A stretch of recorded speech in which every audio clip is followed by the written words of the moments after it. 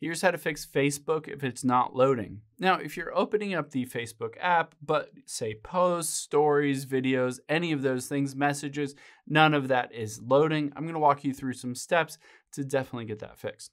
So let's open up the app here, and if it's just not working, the first thing that you can do is swipe up, and we're gonna just close out of the app and then open the app up again. Sometimes just refreshing things by closing the app and opening it up again allows it to load again. So if this doesn't work, let's hop into a web browser and we're gonna check your internet connection as well as the Facebook server.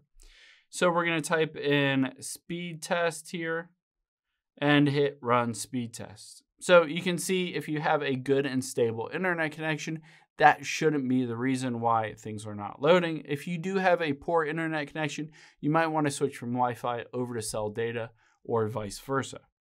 Now, the next thing that we're going to do is type in is Facebook down and go to Downdetector here because potentially things are not loading because your internet is working, but the Facebook servers are down and it's not allowing it to connect to everything and bring it to your phone.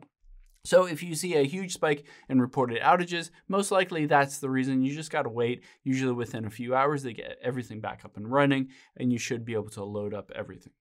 Now, if you check all of these things and it's still not working, the last thing I recommend doing is just hopping into the App Store here. We're going to tap search at the bottom right, and we're just going to search for Facebook here. If you see Facebook and it has the update button right next to it, I just recommend updating to the latest version because potentially there's a bug or a glitch in the previous version. And just by updating it, it should be able to help and fix everything. So go through that whole process. And then after you do that, you should be able to open up the Facebook app and it should be loading as normal. You can swipe down to refresh everything and everything should be working.